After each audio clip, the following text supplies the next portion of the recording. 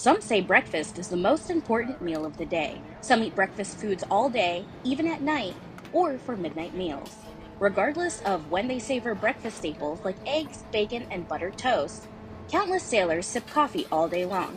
So it's important for deployed ships to keep these mainstay items on board at all times, and plenty of them. But in the Navy, how do these regular grocery list foods go from farm to table? In one word, logistics and planning which starts months before a ship ever deploys. To make sure it's all stocked and ready for the culinary specialist to whip up every morning, the supply team spends at least six months prior to deployment mapping out what grocery items will be needed, when, and where.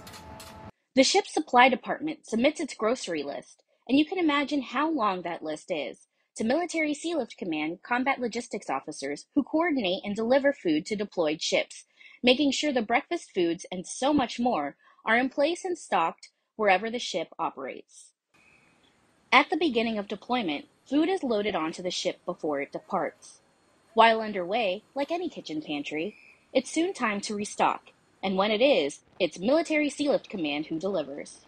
When close to U.S. owned warehouses all over the globe, MSC ships fill their refrigerated and dry cargo decks with thousands and thousands of pounds of sailors' favorite foods, and not just what they want for breakfast.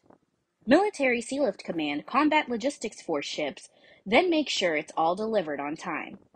While having groceries delivered curbside or straight to your door is a relatively new concept in some places, MSC has been providing on site grocery delivery for decades, and all while underway, steaming alongside their customers. To ensure crews get fresh fruit to go along with their standard breakfast fare, MSC and its customer ship schedules replenishments at sea approximately every seven days. The Indo Pacific region is rather large, so sometimes, to get the freshest fruits and consumables like eggs and milk, logistics officers work with international partners.